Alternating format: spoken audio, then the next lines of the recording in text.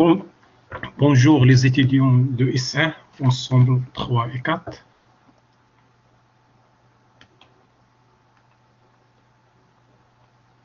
Donc on a déjà parlé de, des formes indéterminées. On a dit qu'il y a quatre formes indéterminées. Donc on a fait un exemple pour une forme indéterminée. C'est plus l'infini moins l'infini. Pour cette science, on fait un exercice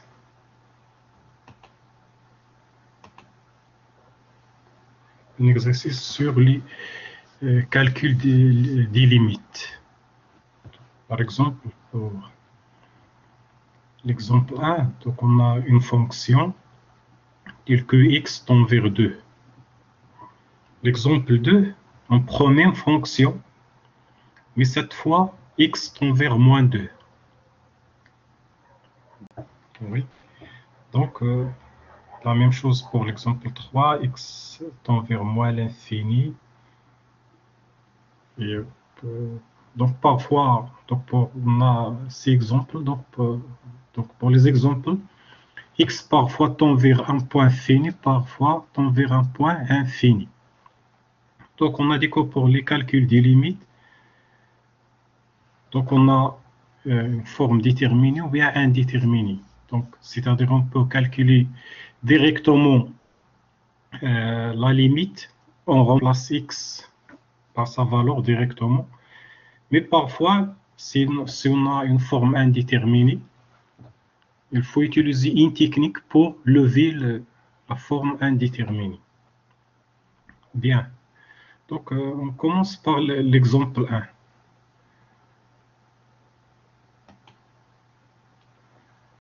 Donc, euh, donc, on a calculé la limite de x au carré moins 4 sur x plus 2, x tend vers 2. Donc, on peut calculer cette limite directement. Donc, on ne pose pas un problème. Donc, remplacer x par 2. Donc, on a 0 sur 4. 0 sur 4 égale 0. Donc, pour cet exemple, x tend vers, euh, x tend vers un point fini et la limite i est finie. La limite est finie.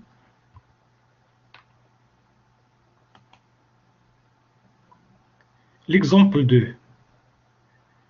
On promet une fonction, c'est-à-dire x au carré moins 4 sur x plus 2, mais cette fois x tend vers moins 2. x tend vers moins 2.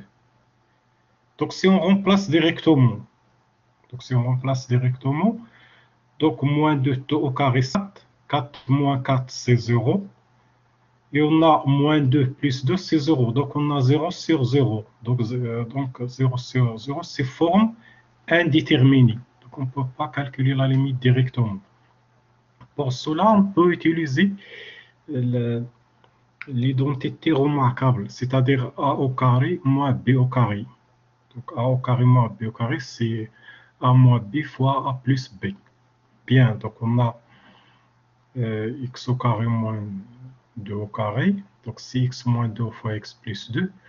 Donc, simplifie par x plus 2, donc simplifie par x2 plus 2. Donc, on a limite de x, on a limite de x moins 2, x tend vers moins 2. Donc, on place x par moins 2. Donc, moins 2, moins 2, c'est moins 4.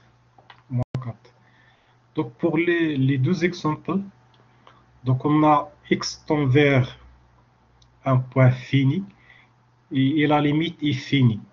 Donc euh, la différence que pour l'exemple 1, on a calculé la limite directement sans utiliser aucune technique, c'est-à-dire on a remplacé x par 2 et on a trouvé 0 sur 4 égale 0. Par contre, pour l'exemple 2, on ne peut pas calculer la limite directement. Euh, c'est une forme indéterminée qui est 0 sur 0. Donc, on a utilisé l'identité remarquable A au carré moins B au carré. On a trouvé euh, une forme déterminée qui est euh, limite de x moins 2, x tend vers moins 2, qui est moins 4. Bien.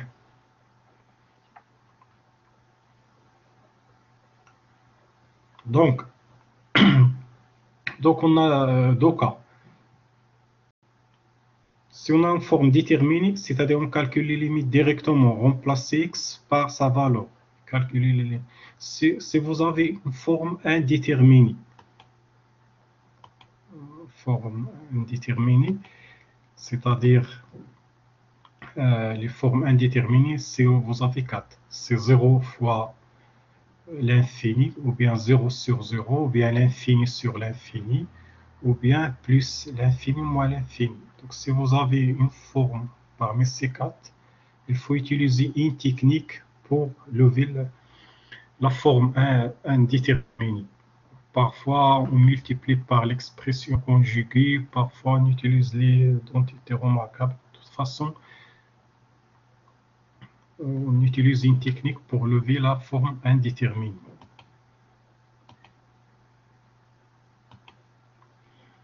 Bien, on passe à l'exemple 3. Donc, euh, l'exemple 3.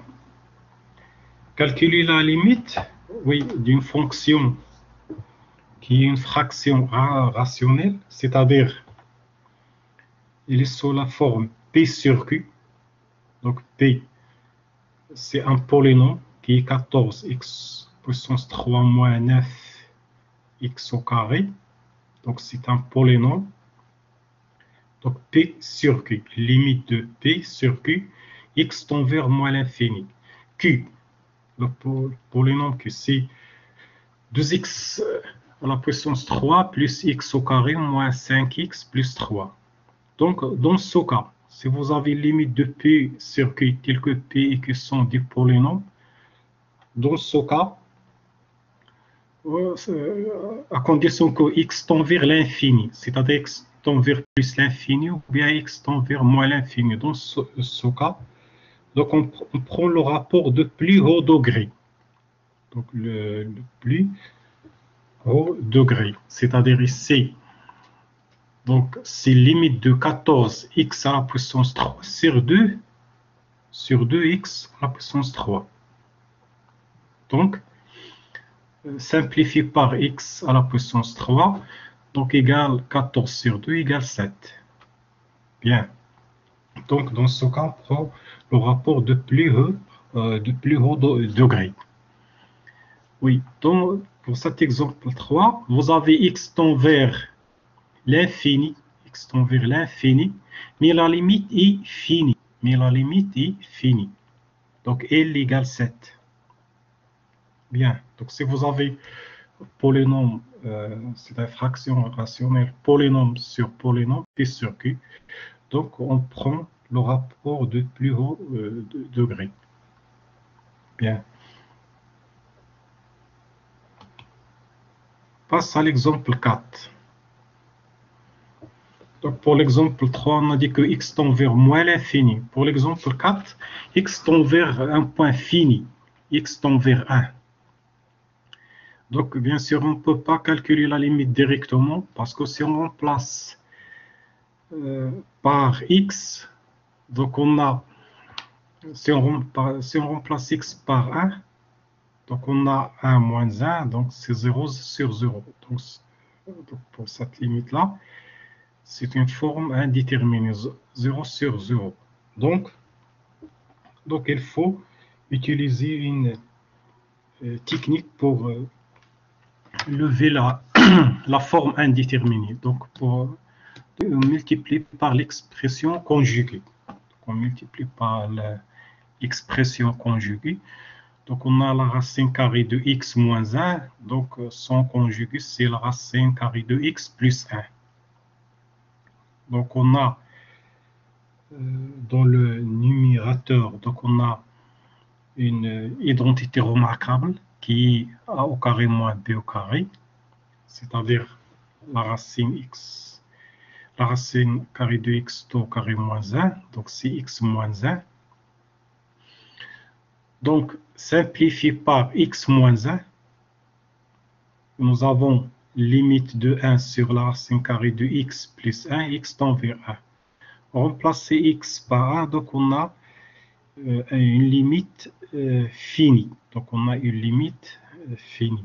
Donc la même chose, c'est cet exemple, x tend vers un point fini, et la limite est, et la limite est finie. Mais on a une forme indéterminée, donc on a utilisé l'expression de la conjuguée pour lever la forme euh, indéterminée.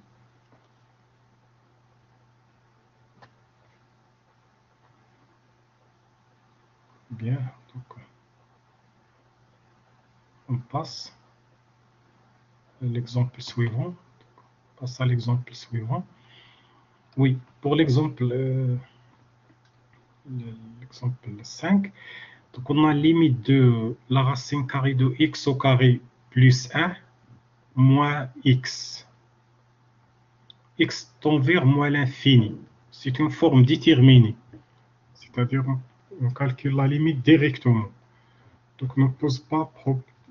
Donc, la, la, limite de la racine carrée de, la de x au carré plus 1 moins x égale plus l'infini, quand x tend vers moins l'infini. Pourquoi c'est une forme déterminée? Parce que limite de la racine carrée euh, de x au carré plus 1 quand x tend vers moins l'infini égale plus l'infini. Pourquoi égale plus l'infini? Parce qu'on a x au carré. x au carré. Donc il est positif. Donc x tend vers moins l'infini, x au carré euh, tend vers plus l'infini. Tend vers plus l'infini, bien. Donc cette limite c'est plus l'infini. Il limite de moins x. Quand x tend vers moins l'infini, c'est plus l'infini. Il est clair. Donc x vers moins l'infini, moins x tend vers plus l'infini. Donc on a plus l'infini, plus l'infini, donc égal plus l'infini. Bien, donc non pas de problème. Donc plus l'infini, plus l'infini, c'est une forme déterminée. Maintenant, prend la même fonction. On prend même fonction, euh, c'est-à-dire la racine euh, la racine carrée de x au carré plus 1. Moins x, mais cette fois x tend vers moins l'infini.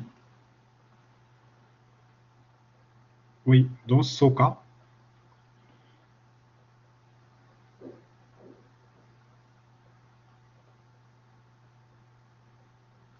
pardon, x tend vers plus l'infini, corrigé. Pardon. Limite de, euh, s'il vous plaît, corriger calcule donc pour le, dernier exemple, limite de la racine carrée de x au carré plus 1 moins x, x tend vers plus l'infini. Donc corrigez s'il vous plaît pour le, dernier exemple. Donc x tend vers plus l'infini. Donc x tend vers plus l'infini. Donc au lieu de x, le dernier exemple, x tend vers plus l'infini. Donc c'est une forme indéterminée. x tend vers plus l'infini. Donc c'est une forme indéterminée. Donc pour lever cette euh, forme indéterminée, on multiplie par l'expression conjuguée. Bien, donc limite de la racine carrée de x au carré plus 1 moins x. Donc on multiplie par euh, le conjugué. Donc moins donc, donc devient plus. Donc on a une identité remarquable, a au carré moins b au carré. Donc nous avons limite de 1 sur la racine carrée de x au carré plus 1 plus x. Quand x tend vers plus l'infini. Donc plus l'infini, plus l'infini, donc c'est plus l'infini. Donc 1 sur plus l'infini égale 0. Égale 0. Donc, euh, je répète le dernier exemple. x tend vers plus l'infini. x tend vers plus l'infini. Oui, donc, dans l'exercice, donc,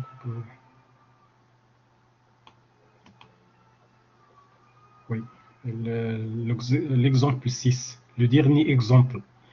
Donc, on a limite de la racine carrée de x au carré plus 1 moins x, x tend vers plus l'infini. Oui, c'est une forme indéterminée. Le dernier exemple.